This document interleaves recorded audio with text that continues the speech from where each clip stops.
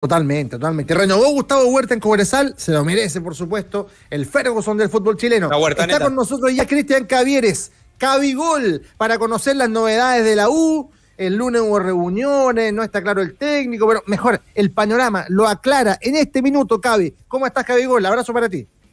Rodrigo, Cristian, Edson, amigos de Red Gol en la clave, un gusto saludarlos también en esta mañana. Eh, sí, pues, eh, porque se pensaba que el día lunes iba a ocurrir lo contrario a lo que pasó. ¿A qué me refiero? Que, mm, iba a ser un día de, muchos anuncios en lo que respecta a jugadores que no van a continuar en la tienda azul para la temporada 2023 y, y de alguna manera sucede lo contrario, como les decía, eh, se determina en la interna de, la Comisión Fútbol, la gerencia deportiva, y que el tema es que van a empoderar a quien sea elegido como el nuevo técnico. ¿A qué me refiero con esto?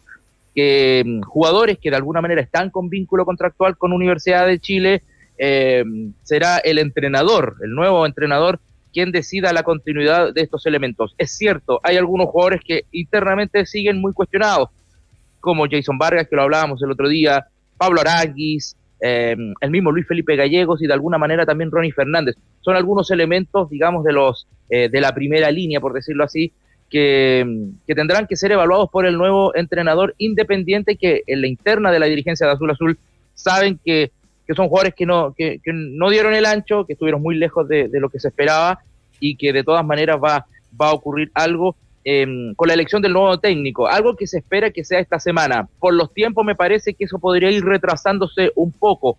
Hay muchos nombres circulando, otros que ayer definitivamente se cayeron de este listado, como Paqui Menellini, por ejemplo, que renovó con Everton, Em, hay algunos nombres como el de Sebastián Becachese que sigue siendo muy difícil, básicamente por un tema económico, más allá del deseo de algunos miembros del directorio de Azul Azul, em, nombres que van circulando, por ahí también lo de Martín Lazarte, Mariano Soso, que, acaba de dirigir a O'Higgins de Rancagua, no va a continuar en la sexta región y también aparece como un nombre que puede ser interesante, como otros que han llegado los currículum a la mesa del segundo piso del CDA, como por ejemplo el de Mauricio Larriera, lo recordarán ustedes, eh, con paso en Peñarol, eh, ayudante técnico también de Gerardo Peluso en la U el 2010, en ese año que llega a las semifinales de Copa Libertadores O'Higgins, que no anduvo también hace un par de temporadas, ¿cierto? Ese es parte de los nombres, lo propio el de Jaime García, que, hoy día tiene una reunión importante con la dirigencia de Ñublense, y ahí están viendo Universidad de Chile, y ayer Michael Clark lo decía, hay algunos nombres que, que no son ni cerca de lo que ustedes han mencionado, es algo que vamos a tomar con, con mucha pinza, con, mucho detalle, porque no quieren cometer errores del pasado, queridos. Cavi, te quería preguntar cuáles son eh, los factores más importantes para la elección, si tienes acceso a eso, digamos, eh, porque los nombres que mencionas y que han salido a la palestra, claro, algunos seguramente más cercanos a la U, eh, como Paqui, por ejemplo, que había trabajado, que lleva tiempo trabajando en Chile, pero ¿qué se busca? ¿Se busca experiencia? ¿Se busca eh, recorrí, perdón, eh, juventud para que pueda crecer, se busca que conozca el medio que haya dirigido en Chile, porque, no sé, hay, tenemos distintos nombres y, por ejemplo, lo de Soso es por la campaña que hizo en O'Higgins, es porque San Paoli dijo que era un buen nombre, ojo, sin subestimar lo que puede hacer Soso como entrenador, pero, pero ¿cuál es eh, lo que empuja hacia una dirección, digamos, para que termine siendo el entrenador de la U? Mira, eh, Baza, yo creo, esta es la opinión personal, que lo que de alguna manera lo que se busca es que no desconozca tanto el medio, porque precisamente fue eso lo que ocurrió esta temporada 2022 con los entrenadores que estuvieron, con, Santiago Escobar, eh, Diego López, que mm. a, lo mejor, no conocían mucho el paño del fútbol nacional y, terminaron eh, terminaron obteniendo malos resultados y cediendo tempranamente su, su, puesto. Entonces, yo creo que por ahí va un poco, que conozcan el primero de alguna manera se interioricen en la idiosincrasia de la, de la Universidad de Chile lo que se busca. En esa instancia, en primero, eh, me parece que un técnico resultadista va de la mano del técnico que, pueda sacar rendimiento en lo que respecta a números de manera rápida, porque es lo que más apremia a la Universidad de, Chile. Eh, a mí me decían algunos colegas que, que trabajaron de cerca de O'Higgins en relación a, lo de Mariano Soso, que que es un técnico que quizás cometió muchos errores durante la campaña, eh, hubo mala lectura de algunos partidos, pero sí se interiorizó en lo que es la cultura de O'Higgins, un equipo que también va muy ligado de la pasión, el hincha y todo aquello, y, eso ah, eh, puede significar en algún momento, más allá de lo deportivo, algo, algo que puede ser interesante respecto a la Universidad de Chile, que también va muy ligado a, a, lo de aquello. Pero me parece, me parece que también el tema del presupuesto eh, pesa mucho en esta pasada acá en, en, azul, azul sobre todo. Pero, pero Gaby, eh, con respeto, ¿ah? eso de, de interiorizarse de la pasión, etcétera, tiene, tiene harto de verso, porque está, está bien lejos de buscar un técnico resultadista, pero decir, no, vamos a traer un técnico porque conoce lo que es la pasión y lo que puede eh, conocer la pasión de Universidad de Chile, ¿no? Para eso que dirijan Túnez, ¿ah? que conoce harto la pasión de Universidad de Chile. O sea, lo, que tiene que buscar la uso en otro tipo de cosas. Eh, cuando dicen, no, es que también porque es un técnico resultadista, está pendiente la resolución de lo que va a pasar con Palestino y Antofagasta, porque podría quedar fuera de todo en, un equipo o en una institución que muchas veces hemos hablado eh, que trabaja bien, que es más ordenada, eh, etcétera. Dentro de la búsqueda, porque hemos hablado de Soso, que, al parecer es uno que está fijo, sí o sí. Eh, San José también aparece como nombre, aparece este uruguayo que mencionaste, está Beñato, ¿no? Sí, sí, sí, también. mañana distinta de jugar, ¿ah? No hay convicción ahí, ahí, Soso juega buena Y, en el Polo Norte está Beñat totalmente distinto. Ahí quería llegar. Estamos, o sea, coincidimos nosotros. Son búsquedas muy dispares en Universidad de Chile. Yo ahí no sé.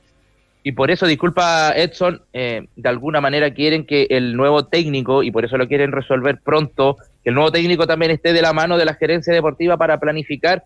A ver, yo juego de esta manera, entonces necesito este tipo de jugadores. Y en base a los que están, a ver, ¿con quiénes puedo seguir? con quien definitivamente no voy a contar y ahí en base, a, en base a eso también ver el tema de los refuerzos, porque es otra cosa que también que Universidad de Chile tiene que lidiar con lo deportivo, lo que busca el nuevo técnico y que también estén dentro de, del, mercado a, la mano en lo que respecta a, lo, presupuestario.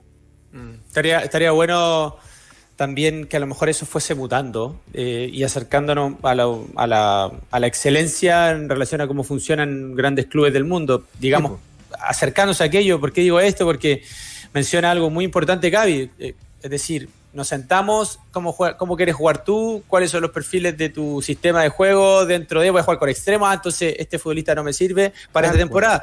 Podría ser también, digamos, en ese proceso de transición, porque uno puede pasar de, no hacerlo a inmediatamente realizarlo completamente, pero de, que la U tuviese su forma, o que la U dijese, mira, este es el marco regulatorio, nosotros...